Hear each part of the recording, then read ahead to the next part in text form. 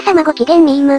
複雑に入り組んだ現代社会に大量のミームを投入し、様々な SCP や疑問を徹底的に究明する週刊スキップ。私が帝国なでしこ型アンドロイド8です。猫はいます。昨年9月よりスタートした週刊スキップも、おかげさまでなんと5回目を迎えることができました。うん、順調ですね。週刊スキップランキング、毎回、SCP 情報局のチャンネルにおいて、その週で最も視聴された動画のランキング。今週1週間のランキングは次の通りです。それでは、第10位 SCP-956、子供割人形。第9位 SCP-957、おびき寄せ。比較的最近投稿されたこの2件がランキングに入ってきました。どちらも怖い系のまさに王道を行く感じのスキップですね。今後の推移に注目したいところです。続いて。第8位 SCP-166、年頃のサキュバス。第7位 SCP-96、シャイガイ。第6位 SCP-106、オールドマン。この辺は鉄板系のスキップとなっており、ほぼ確実に毎回ランキング入りしています。173で SCP について興味を持った方が、次に知ることになるのが、大体この辺りなのではないでしょうか。それでは続いて第5位から第3位です。第5位 SCP-1730、サイト、13に何が起こったか？第4位 SCP-3199、誤れる人類。第3位 SCP-682、不死身の爬虫類。こちらも第3位にスキップのトップアイドル628がどっしりと腰を据えています。爬虫類がランキング外に押し出される日は、果たしてやってくるのでしょうか？こちらで紹介しているスキップは、週間ランキングの再生リストに入れておきますので、気になったスキップがいたら、そちらをご確認くださいね。それでは続いて第2位です。第2位 SCP-610、肉肉しいもの。タイトルとサムネのインパクトが強烈なので、そこから視聴に入られた方も多いのではないでしょうか。まさに、YouTube 向けのスキップと言っても過言ではありません。そして見かけだけではなくストーリーもかなり面白いこともあって、この順位は十分に頷くことができる感じですね。それでは次にいよいよ第1位の紹介です。第1位 SCP-127、生きている銃。圧倒的ではない川がスキップは、と思わず漏らさずにはおられないほど、視聴数、視聴時間ともに、他を大きく引き離しての堂々の第1位です。簡潔にまとめられたインパクトのある報告内容と、人目を引きつけずにはおられないような画像。初期のスキップらしい、まさに173オリジナルの成功パターンを踏襲しているスキップと言えるでしょう。時折、これは本当のことなのですか、とコメントが入るほどに衝撃的なスキップです。そしてその質問に対しては、改めてここでお答えしておきましょう。もちろん全部本当のことです。っと、それではそれでは続きまして、スキップおすすめトップ5。SCP 情報局にリークされた注目すべきスキップを5本紹介させていただきます。選択の基準は、視聴数と時間、評価に加え、D 食品の主観と局長による情報操作の意図が加わったものになっております。前回からかなり日数が経ってしまったので、なかなかトップ5を選ぶのが難しいというのが正直なところ。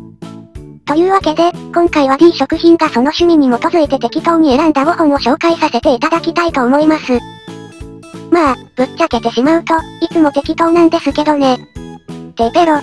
それでは、最初は、小話、ワニそば。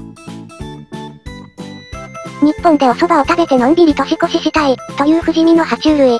その要請を受けた日本支部がてんやわんやで大騒ぎするというテールです。猫はいます。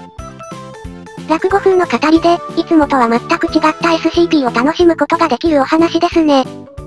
可愛い私も登場するので、ぜひご覧になってくださいね。続いて、二つ目に紹介するのは、SCP-3043、私立探偵マーフィー、ロー、3043は殺しのタイプ。こちらも、他とは毛色が違った感じのテイルです。タイトルから推察される通りハードボイルドなお話です。フィリップ、マーローならぬ、探偵のマーフィー、ローがかっこいい、活躍を見せてくれます。ハードボイルドと言っても、やはりここは SCP の世界、尋常ならざるトリックが幾重にも仕掛けられていて、私たちを引きつけてやみません。それにしても、フィリップ、じゃなくてマーフィーさん、かっこいいです。ではでは、続いて3つ目は、SCP-1730、サイト、13に何が起こったか財団に存在しないはずのサイト、13。未完成のまま幻のサイトとなっていたこのサイトは、オブジェクトを収容していた形跡があり、しかも現在内部は深刻な荒廃状態にあることが分かりました。探査を行うも3つの機動部隊と無人探査機を失ってしまう大損害を出してしまいます。内部の壁に残された不気味なメッセージの数々、サイト、13に何が起こったのか元々の報告書もかなり長大ですが、朗読に至っては200分という映画もびっくりな超大作です。しかも、ストーリーが面白すぎて、気がついたら機動部隊と一緒に探査している気分になってしまっているという始末。まさに映画を一本丸々見た後のような余韻に浸れる報告書です。有名どころのスキップだけでなくマニアックなものや舞台なども出てくるので、よほどスキップペール、スキッパーな方でないと。詳細を正確に理解することはできませんが、私のように、大体把握した、K の視聴者でも十分に楽しむことができる作品です。それでは4つ目。クレフ博士の講義記録。現実改変者とあなた、存在が存在しなくなった時生存するためのハウプ。というクレフ博士の講義を受けることができるテールです。猫はいます。内容についてはネタバレになるので、ここでは語りません。6分間の講義や体験をぜひお楽しみください。それではいよいよ最後5つ目です。SCP-1910-JP UFO ラーメン。ラーメン屋さんです。はい。驚くほどラーメン屋さんです。人情味に熱い店主がいて、一生懸命働く地球人がいて、馴染みのお客さんがいて、はい。驚くほど普通のラーメン屋さんです。ただお店は UFO ですから空中に浮かんでいます。それだけです。水銀ラーメンを出すような恐ろしいスキップではなく、ただの普通の真っ当なラーメン店です。ただ店主はグレータイプの宇宙人です。それだけです。UFO ラーメン、ぜひ皆さんもご来店ください。というわけで今週のおすすめトップ5でした。次のコーナーは、今週のスキップ相談室、です。毎回、視聴者の皆様からいただいた様々なご質問にお答えしているこのコーナー。今回のご質問は、前回から長らく期間が開いてしまい当然ながら質問ゼロなので、削除済み、東京都新宿住友ビルにお住まいのスキップさんからです。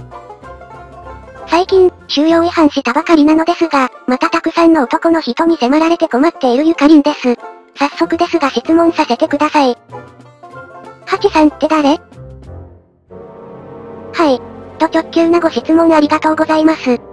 多くの大人な視聴者の皆さんが、動画の冒頭に出てくるこのキャラってなんだろう？投稿者の趣味か何かかな？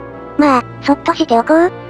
と、大人の包容力で優しくスルーしていただいた繊細なところを、ぐりぐりと押し込んでくるご質問ありがとうございます。